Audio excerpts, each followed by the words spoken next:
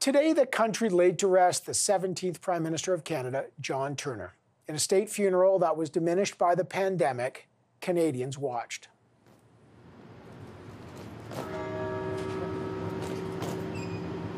John Turner's flag draped casket was carried into Toronto's St. Michael's Cathedral Basilica for a full state funeral. The crowd limited to just 170 people because of COVID 19. Over his political career, Mr. Turner represented three provinces as a Liberal member of Parliament and served as Prime Minister for 79 days in 1984. It hardly defines his decades long service. He died September 19th at his home. He was 91. His daughter, Elizabeth Turner, says some of her fondest memories of her father were spending time in the Canadian wilderness and surrounded by family. I have memories of Dad standing over the fire at the campsite, cooking dinner with a head net to protect him from the voracious black flies, swimming in the frigid waters of the Great Slave Lake, the Burnside and the Hanbury Rivers, gazing out at the tundra as the sun set. It was in those moments that he was truly happy and at peace. He loved those trips, even if we woke at 5 a.m. to a snowstorm lifting our tents off the ground. There were tributes to the man's well known achievements as Justice Minister. He defended decriminalizing homosexuality or his epic debates on free trade with Brian Mulroney. John Turner was from a time when privilege was seen as a responsibility to serve the public, and losses, and Mr. Turner had many of those, simply meant perseverance, not surrender. John Turner had guts, he had a sense of purpose and duty, what we used to call character. He was, to paraphrase the great speech by Teddy Roosevelt, a man in the arena.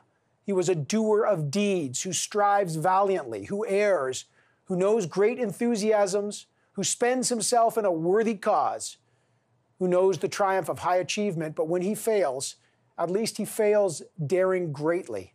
John Turner was not a timid soul. John Turner dared greatly, and that's what we remember of his decades of service to this country may rest in peace, and our thoughts are with his family. To talk more about the man he knew so well and he served with, we turn now to the former Foreign Affairs Minister of Canada, Lloyd Axworthy. He joins us from Winnipeg. Mr. Axworthy, I am obviously sorry for your loss. He was a great man. Um, on a day like this, what memory do you have of your friend John Turner? Well, uh, Evan, first, uh, your tribute to him is really very fine, and I, I think we all appreciate uh, those words because uh, John was an exceptional Canadian. And it's interesting that today is a day where uh, the country can pause for a while and uh, see so much of what is good about Canada, the values and the commitments and constructive public life, good government. These are the things that really help define us. And I think uh, the tributes that came in and the eulogies and the Prime Minister's remarks all help to sort of put into proper uh, perspective just how important uh, his legacy is. You know, the old saying, you have to look backward to go forward. Well, I think uh, looking back at John's career and his personality and his friendships is a, is a, is a nice little sort of uh, uh, compass for Canadians to follow.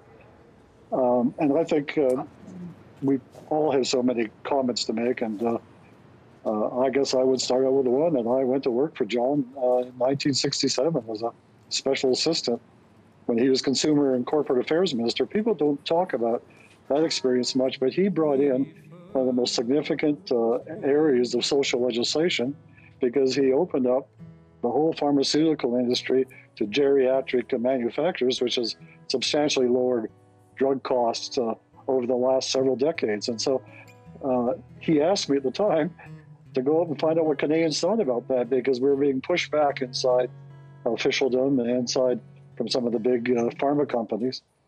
And I came back and said, John, you're on the right track. And he said, Well, we're going to go for it. And he did, and he passed it.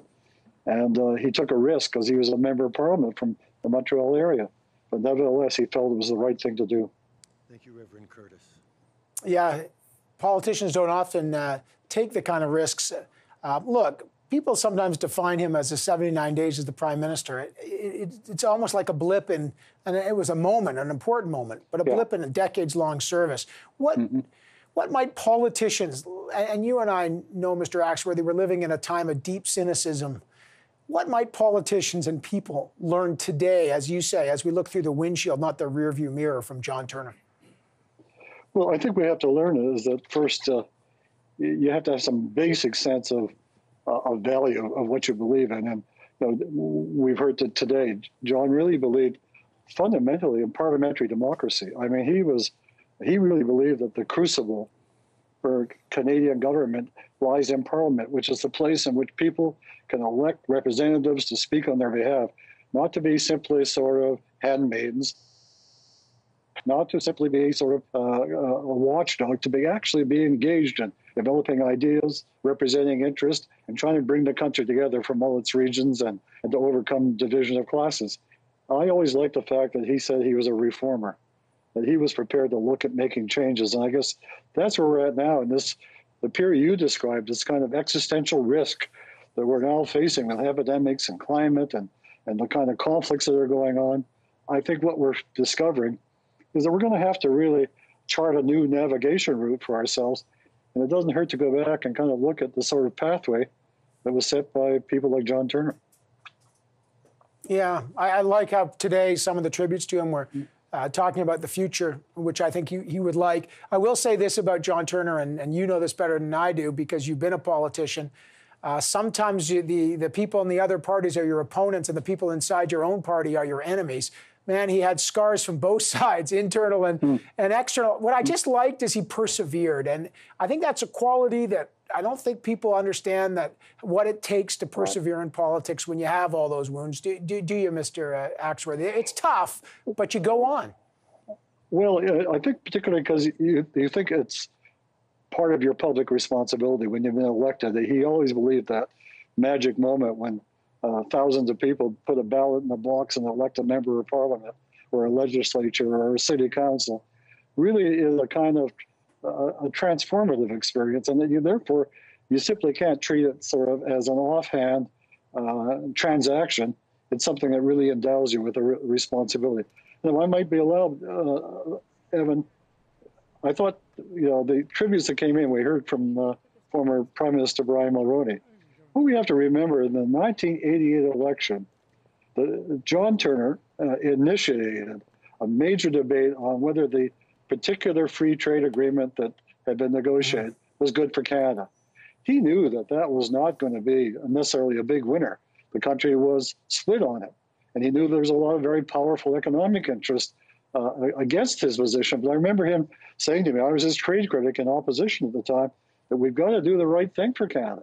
And we fought it out. And he actually almost came close to winning 88 until there was a huge surge of advertising that overcame him. But that was a kind of, you know, John didn't think that this was something that he had to kind of cut the cloth uh, yeah. simply to suit the times. He said, look, at this is important for this country. Yeah, it was uh, great to, to have known him. I met him a number of times. He always, he had the fight in his eyes right to the end. And um, mm. Win or lose, I have, you know, we cover politics for a living here. And I always say, whatever flag you carry, red, blue, orange, green. We have the highest respect for people who serve and step into the arena like you did. Uh, John Turner was 91. I really appreciate your tribute, Mr. Axworthy. Thank you so much. An important day, and I, and I appreciate you having you on the program very much. Evan, thank you for the invitation. It was a pleasure.